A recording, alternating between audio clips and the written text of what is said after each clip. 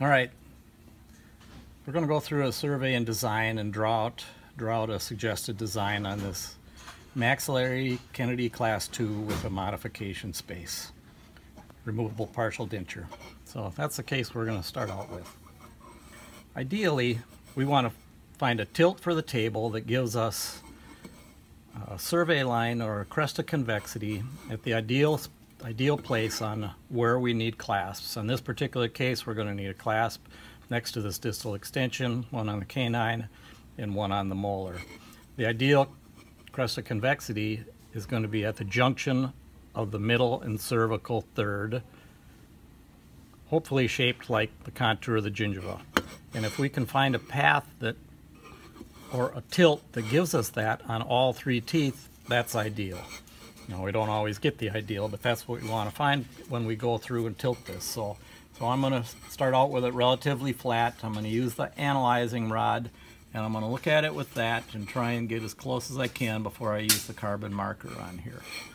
In this particular case, because we've got a modification on a central, I want to look and make sure that I have a tilt that's going to allow that contact area to be roughly um, or that survey line roughly where the mesial contact would be and not have a big black triangle in that area on either of those anterior teeth, but especially on the central, okay? So I know that this is a tilt that gives me as close as I can with these teeth that, uh, that clasping area or that crest of convexity because we want the clasp to stay as low on the teeth as we can so it doesn't rock those teeth out. The higher the clasp is, the more it's going to have tendency to uh, to move those teeth, similar to grabbing on the uh, top of a fence post and rocking that post in and out. If we grab onto the fence post as low as we can, it's it's harder to remove that. So I'm using the side of the carbon marker. Okay, be careful not to use the tip because that's going to give you a false mark. You want to use the side, and I'm going to go around each of these, each of these abutment teeth, including the lingual, where our bracing arms will be, or our reciprocation.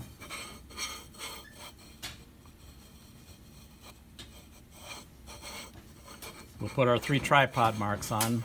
Those of us that have made partial dentures, at least old school, we prefer them to be on the inside if we can. So I'm looking for a spot without moving this up and down that puts all three marks in the same plane. I want them to be as separated as I can. If they're close together, they're going to be less accurate. If I can't get them inside, then I'll do it, use it on the outside, okay, like this.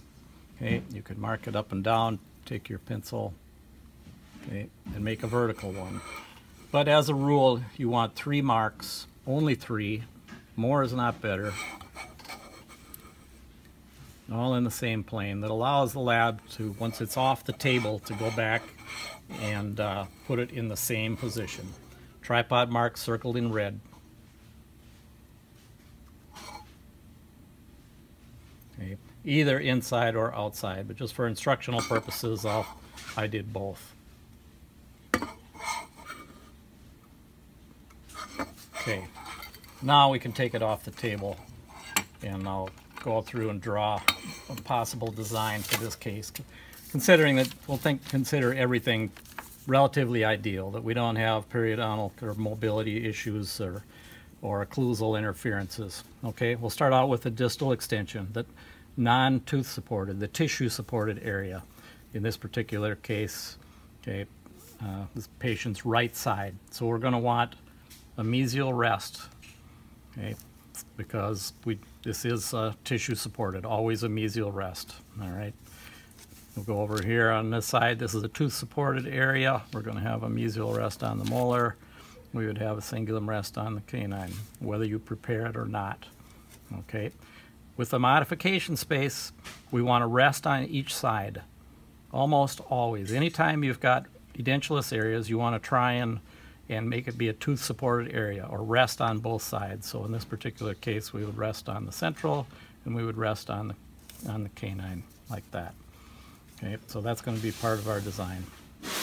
Now, This particular clasping area on this side, we could, we've got some options. We can go with a wire that's flexible here. We can go with an I-bar, or we can go with what's called an RPI design, which is similar to an I-bar, but there's no reciprocation on the lingual. It's a combination of the distal guide plane and the mesial rest that forms the reciprocation. In, uh, and that allows this tooth to be have less metal attached to it so that when they bite down and compress this tissue, it's not going to rock that tooth out.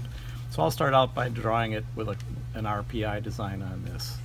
Okay, so in other words, so it's four millimeters away from the gingiva, okay, that the major connector is going to come down. It's going to come up to a guide plane that we need to keep relatively broad. Okay, I'm going to cover the entire distal surface. Okay, line angle to line angle come onto the tissue by one millimeter, okay, and then come down and form our finish line, which is going to start aiming back towards the hamular notch, which is here, like that. Okay, from there we'll make our grid work that's going to be the retention for the acrylic to hold that onto. Okay, the I-bar needs to be on the mesial half of the tooth, not in the middle, on the mesial. It's going to extend from the survey line down to four millimeters below the gingival tissue, just like this is here, or like a mandibular major connector would be, and it's going to extend back so it comes, joins the grid work in the embrasure between the next two teeth. In other words, not right here where we have to set a denture tooth, we want it in the embrasure in between. So back here between where the second premolar would be and the first molar. Okay. In the retentive part, Okay, the 10 thousandths undercut or 0.025 millimeters area, the clasp is going to touch the tooth from that area all the way up to the survey line and not above. So it covers an I-bar covers a area, a surface. It's not a pinpoint. Okay. From here, we're going to come over and do the cingulum rest over the canine, and it's going to have a mesial guide plane always next to the dentulous space. Mesial guide plane, whether you prepared it or not, there's going to be metal in that area. It's going to come onto the tissue by a millimeter. We're going to form our finish line, our external finish line.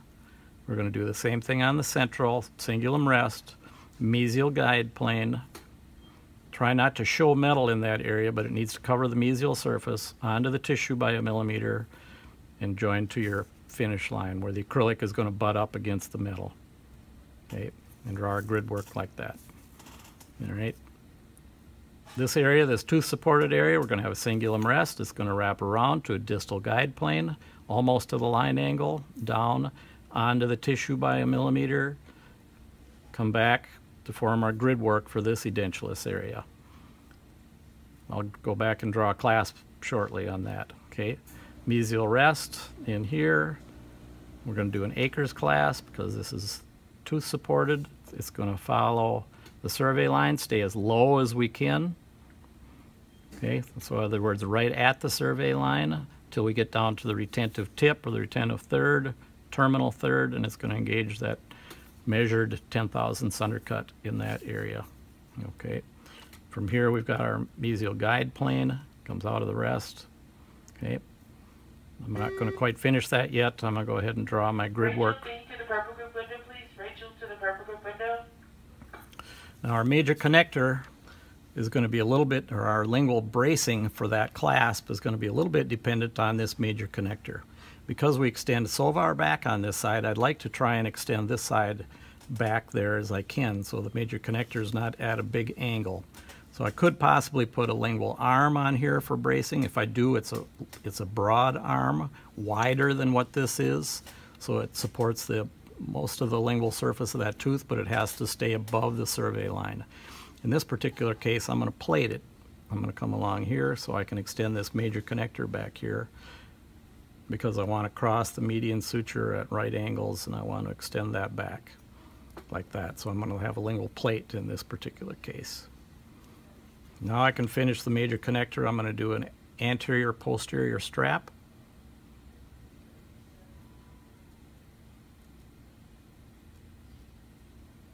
I want to keep this palatal area open as much as I can to take some weight off the framework and allow some patient's tongue to be a little more comfortable and less speech issues in there. Okay, so it's going to look like that. Up here, uh, my survey line is worn off or I didn't get it surveyed good. This could be an Akers clasp because it's two supported or an I-bar. I'm gonna draw an I-bar on here. So it's a little more aesthetic. And it's gonna connect between the two premolars. So when we're all said and done, that's an idea for a suggested design. Okay, so this is open. We could potentially have plated that. The advantage of this is that it allows uh, stimulation of the periodontal tissue in that area and keeps that open. Uh, the downside is that sometimes that's a food trap. Okay, but it's either way, it's a it's an acceptable design.